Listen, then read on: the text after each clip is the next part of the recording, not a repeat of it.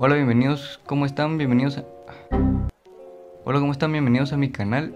En este video voy a estar probando dos acuarelas de la misma marca, pero la versión Pro, digamos, y la versión escolar o no profesional, la que se utilizaría para, para hacer trabajitos del colegio y cualquier cosa, creo. Las tengo desde hace una semana, pero me aguanté para abrirlas y probarlas en este video, así que vamos a hacerlo. Y bueno, son de la marca Simbalion o Simbalion eh, no importa, tiene un, un león, es lo importante. Vamos a destaparla. Dice 36 colores, acuarela en pastilla. Dice que no se come. Bueno, eso es más que evidente. ¿Quién se va a comer una acuarela? Pero bueno.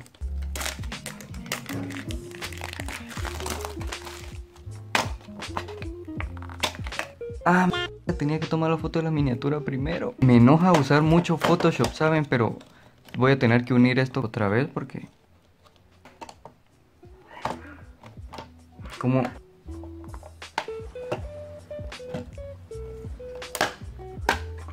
Lo que me preocupa de esto a primeras impresiones es que las acuarelas se ven como opacas. Y normalmente cuando están opacas, eh, al pintar dejan como una especie de yesito o tiza. Y ahora vamos con la segunda. Esta trae 12 colores y es como 2.5 veces más cara que la que trae 36. Por eso supuse yo que es la versión profesional porque si se dan cuenta es la misma marca. Y bueno, me estafaron los hijos de puta porque yo siempre he querido una paleta para mezclar así. Pero resulta que esto es de plástico y que lo blanco que se ve aquí, supongo porque esto es blanco de atrás, o sea, es un papel maldición. Esta abrió mucho más fácil. La caja solo nos dice los colores y como no sé chino, pues no se los voy a leer, ¿saben? Y como les dije, esto sí brilla, vean. Y esto demuestra que las acuarelas tienen un poquito más de calidad. What the fuck, nigga. Y bueno, no sé si recuerdan, pero hace algunos meses yo dije en un video que me dejaran sus dibujos con el hashtag dibujamealv para yo poder verlos en Instagram. Así que voy a probar las acuarelas redibujando un dibujo de algún seguidor. En este caso tocó este usuario y la verdad me pareció una idea muy bonita. Bueno, repasé dos iguales para probarlo y así que uno no tenga desventaja, sino hacer lo mismo en los dos y ver qué tan diferentes son estas líneas de producto porque es la misma marca. Así que vamos a probar. Y bueno, voy a comenzar con la línea profesional, digamos, esta es tres veces más cara que la de 36 colores y trae 24 menos, así que supongo que por eso tiene que tener más calidad. Y lo primero que noté fue que al dar una pincelada ya tenía bastante pigmento en el pincel. Esto no me pasa con las acuarelas que uso normalmente porque tengo que estar batiendo mucho el pincel en la pastilla para que me dé ese resultado. Así que posiblemente me sorprendí, pero es algo normal. Lo que pasa es que estoy acostumbrado a trabajar con unas que son muy paliditas. Ahora voy a ir con una prueba de las más importantes y bueno, eh, con las que uso normalmente no puedo usar colores muy fuertes porque se queda un efecto como pastoso. Entonces voy a ver si con el café no pasa eso. Mira, ¿cuál es el café? Opa, acabo de descubrir que la paleta no trae color café, pero bueno, toca. Y bueno, cuando descubrí esto sí me molesté un poquito porque pensé en el futuro y dije, ah, voy a tener que estar haciendo café cada vez que quiera y eso es un poco aburrido.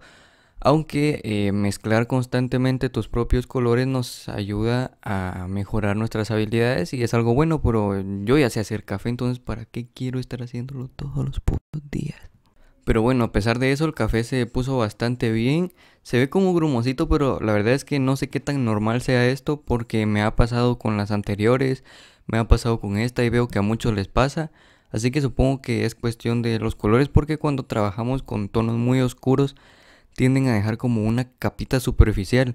Supongo que con las más pro y las más caras no pasa tanto esto porque han de ser como puro pigmento que se impregna en el papel. Pero bueno, con este me pasó. No es un punto negativo porque no es que vayamos a llenar una hoja de café, ¿saben? Pero ¿y si quisiéramos hacerlo? Elegí este dibujo porque la idea me pareció muy bonita y aparte como iba a testear los colores, eh, este dibujo tiene prácticamente todos para poder utilizar. Si les gusta este dibujo pueden ir a ver su perfil, se los voy a dejar acá y nada, pueden ir a seguirla si les gusta su contenido. Si ustedes me preguntan si las recomiendo, la verdad es que sí, como les dije, son mucho mejores que las acuarelas que uso siempre y las que uso siempre me costaron el doble. Así que son muy pigmentadas, son muy buenas, son muy baratas y te permite lo básico de la acuarela que es que se mezclen bien los colores entre ellos, que te permita trabajar sobre capas porque bueno, esa es la función principal digamos o lo que yo siento más útil de la acuarela. Así que es un punto positivo, son muy transparentes que es lo bueno y, y pues eso. O sea, tiene los atributos básicos que debería tener cualquier acuarela decente. Así que eso está muy bien. Y bueno, este sería el resultado. Eh, como pueden ver, eh, no tengo nada que decir. La verdad es que me gustó. Eh, aquí hay unos manchones, pero fueron mi culpa, no es culpa de la acuarela. Ahora vamos a comprobar si se puede hacer lo mismo con las acuarelas escolares. Y de último voy a dar mi conclusión sobre ambas. Y como dije, aquellas son mucho más baratas y traen mucho más colores, así que nos puede convenir un poquito más si queremos practicar o bocetar en algún cuaderno que tengamos. Estas servirían más como para hacer un trabajo más como para publicarlo en Instagram y todo eso, pero como dije, aquellas pueden servir bastante bien, así que vamos a comprobar qué tal. Y bueno, ahora vamos a probarlas que son pro, digamos, trae este papelito, pero son instrucciones en chino que no nos interesan por el momento. Y bueno. Ah, no, qué idiota, ya las probé, perdón.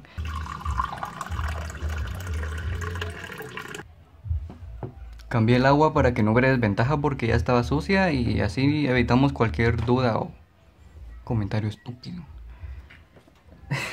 es broma. Oigan, creo que no era broma, pero volviendo con el video, la verdad es que eh, la paleta tiene 36 colores. Todos son muy diferentes de otros. No es como que venga un color muy similar y que sea una estafa, pues no. Eh, todos son muy diferentes, son tonos muy variados. Y por ejemplo con la paleta de 12 colores no puedo conseguir estos que estoy mostrándoles en la pantalla porque por ejemplo los tonos magentas o los morados que llevan un tono magenta no puedo hacerlos con rojo porque bueno prácticamente es imposible de hacer, ¿saben? Así que pues eso cuando necesito un color chillón o muy vibrante pues vengo a esta paleta y complemento a la otra, eso es un punto positivo. Y por cierto, si llegaron hasta aquí me ayudarían con su like por si no le han dado para que, bueno, no sé para qué exactamente, pero dicen que bueno, entonces ayúdenme. Y bueno, sinceramente no le encuentro ningún punto negativo porque como dije, en primer lugar estas acuarelas no son para uso profesional o algo así y sin embargo están dando muy buenos resultados que se le asemejan mucho a las que son un poquito más caras, así que ese es un punto positivo. Eh, algo negativo, bueno, es que ni siquiera es negativo porque como les dije, eh, no podemos ser malos con esta acuarela porque no son para esto. Pero bueno, eh, algo que noté es que puse los colores muy potentes. Por ejemplo, la cara, ustedes pueden ver que poco a poco se va desvaneciendo el color. Así que si queremos hacer un retrato, un paisaje, bueno, es que ni siquiera lo haríamos. ¿Saben qué? son buenas y ya, son buenas.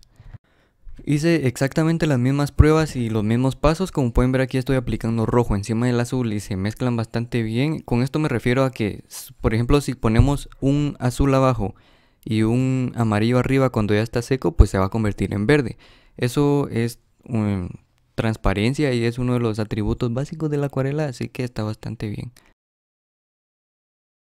Y ahora voy con la última prueba. Estoy haciendo pruebas muy básicas porque no es que vayamos a hacer un retrato, un paisaje o la puta Mona Lisa aquí. Así que está bastante bien, ¿saben? Y el último paso sería saber si las capas que ponemos no impiden trabajar con otros materiales encima. Porque algunas acuarelas cuando las ponemos y queremos pasar un rapidógrafo, algún color de madera, es muy complicado hacerlo y, y simplemente no, no se puede. Pero como pueden ver esto lo hizo bastante bien, sin problema y eso es un punto positivo, que son transparentes y no dejan tan saturada la parte superficial de la hoja. Oigan, estoy viendo que esta parte está muy sucia, pero eh, tengo la ligera duda. Vean mi dedo. Ah, esto, esto es lo que me preocupaba. Ajá. Y bueno, el color café sí es cierto que dejó una capa porque después le puse eh, la tinta encima y al ponerle el bolígrafo de gel pasó esto que levantó el pigmento de arriba, pero si lo hubiera hecho en la acuarela café no hubiera pasado, aunque es un punto negativo, bueno, el único punto negativo que le encuentro. Y bueno, ahora sí voy a empezar a dar las conclusiones. Como pueden ver, ambas son como que muy similares. La verdad es que de este no tengo nada que decir. Me gusta bastante cómo se mezclaron los colores y todo, cómo se ve en el papel. Este cuando yo pasaba el pincel en la pastillita el color era muy pigmentado y eso es bueno también. Me refiero a que normalmente las acuarelas escolares hay que como que estar picándoles para que te dé un pigmento bonito. Pero esta con un par de pasadas ya te da algo bastante eh, saturado y bonito. Así que ese es un punto positivo de que te van a durar un montón. Pero lo que yo noté en esta, si ustedes se pudieron dar cuenta cuando pasé en este ojo el el bolígrafo de gel como deja una capa superficial al pasarle algo húmedo se vuelve a levantar pero sí no no encontré mayor desventaja la verdad y por el precio o sea ambas acuarelas están muy baratas porque esto se me hace muy barato eh, son 11 dólares y estos serían unos 4 dólares bueno volviendo al tema eh, las dos están bastante bien la verdad es que recomiendo las dos Así que la línea más cara de estas acuarelas creo que funcionan bastante bien. Y conclusión, recomiendo las dos.